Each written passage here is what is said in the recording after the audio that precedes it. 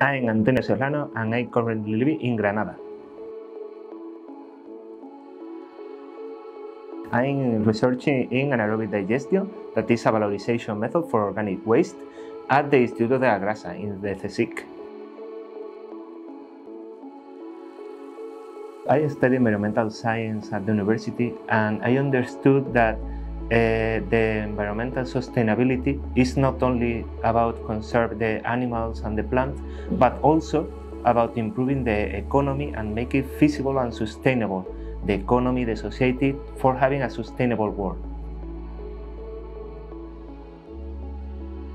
I think that is everything we do have a terrible smell. I think people uh, think that uh, we are a waste of money and that we work just for conserve the, the planet, but without taking into account the economy, and that's not true.